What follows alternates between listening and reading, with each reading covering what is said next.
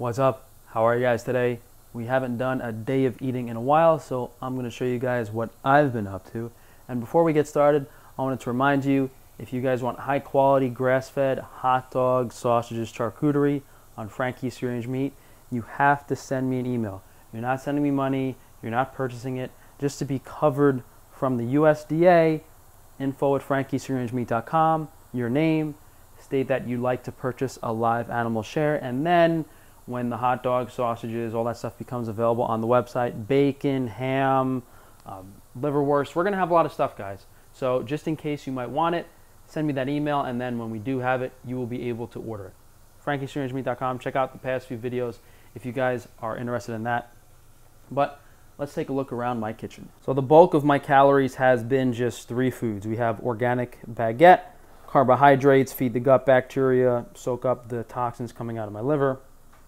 Meat, I either have the fire roasted ribeye or the roast beef Frankie's free range meat. Today we're doing the fire roast ribeye. Don't have to really prep it. And I sauteed uh, some mushrooms in a little bit of oil and salt. These are shiitake mushrooms, very high in minerals, but I just add them to the sandwich for variety and because I like the flavor. Sometimes I will put the mayo on it. Over here we actually have some of our vegan cookie batter. I'm not having this today, but um, over the past uh, few days I've been having these on occasion. If like I'm hungry after the meal, if the apple isn't enough, I will make some of these cookies. Uh, we did the recipe a little while ago, basically minimally inflammatory. Maybe we'll have these on uh, Frankie's Free Range Foods soon as cookie bars, hopefully.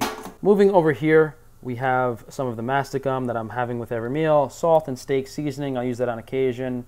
Uh, sometimes I will have the Flextrose uh, with some organic lemons like a lemonade. Uh, this is the spiced beef jerky if I forget to bring home some meat. Refined coconut oil that I've been using and uh, just some activated charcoal that I will have at night sometimes maybe once every two weeks, twice every two weeks, I'll have some white rice, but it just doesn't sit that well in my stomach. I don't sleep that well eating the white rice. Over here, we have the lemons that I've been using for the lemonade, everything organic, of course. Uh, some potatoes that, you know, I'll occasionally make some french fries or something to go with the sandwich, but usually it's just the sandwich. A few varieties of apples. My favorite are the organic Fuji apples. That's what I've been having one or two with each meal. And in the fridge, we have everything else I've been eating. So this is a very gelatinous collagen broth. We do have the collagen extract available, guys, on Frankie's Range Meat again. Feeling a lot better with the extra amino acids. Instead of drinking the water kefir, I've just been having uh, the water kefir grains. Finally decided to put the label on, uh, which we designed a little while ago. Healing Crystals Kefir. Some more shiitake mushrooms back here. Um, I just buy them at Whole Foods, organic. It's like four or five bucks per package, and one of these packages will usually last me two days. I just slice them up, salt, oil in the pan. Uh, this is a goat testicle. Uh, I'm having usually two of these a week for testosterone boost. I notice a big difference in my energy levels, so if you guys are having issues, definitely try that out. This is some of the mayonnaise. Uh, I'm off and on with this. One day I'll have it, one day I won't. I'm trying to see how I respond to it. Uh, we did the recipe last Saturday. Haven't been able to really gauge it yet. I haven't noticed too much of a negative impact.